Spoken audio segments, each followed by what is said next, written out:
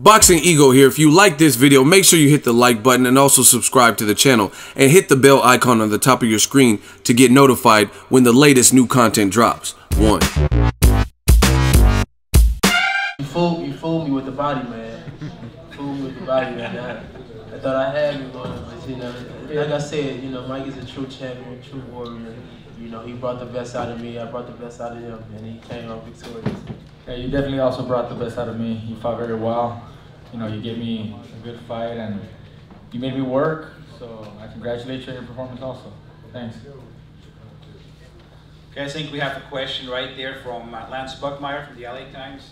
Mikey, congratulations. Um, this fight, how does it lend itself to a, a, possible move up to welterweight against Spence? What what did you take from tonight that pro really proves that point? Oh well, I always look for the biggest challenges. I'm looking for the biggest fights. You know, ever since I came back, I wanted to, in a way, make up for the lost time. And I don't think there's any other way except fighting the best champions out there. We fought another undefeated fighter, undefeated champion tonight. There's no one else that excites me enough, that motivates me, and that can challenge me other than Errol Spence. And I'm willing to take that challenge all the way up just because that's the fight that I want. That's the fight that will motivate me the most. Hey, Mikey, back here. Mikey, straight back. Hey, congratulations on the win tonight. Um, when you talk about Errol Spence, he came over and he spoke to some of us at ringside after the fight, and uh, we asked him what he thought about it. And when he was concluding his remarks, he said he was licking his chops.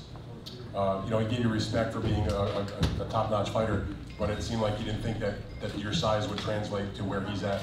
Um, what do you think about the fact that you're both tremendous fighters, but that he's so much bigger than you? No, that's that, that's a challenge. You know, I am moving up all the way to welterweight. You know, if I land that fight, it'll be my first attempt at, at welterweight, and I'm going against the top guy there, against the, the best in the division.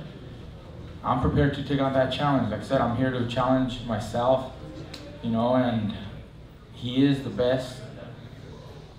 He might feel that it's, you know, an easy fight for him when I'm too small.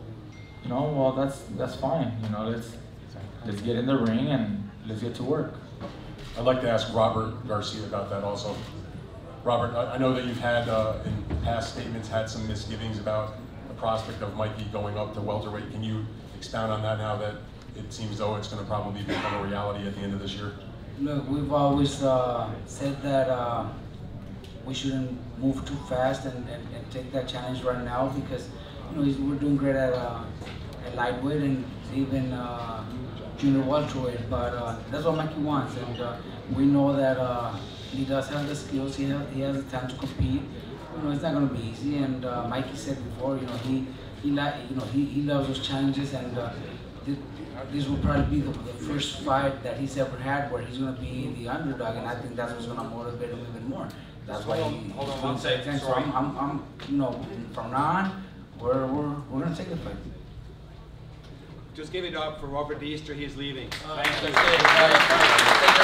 you.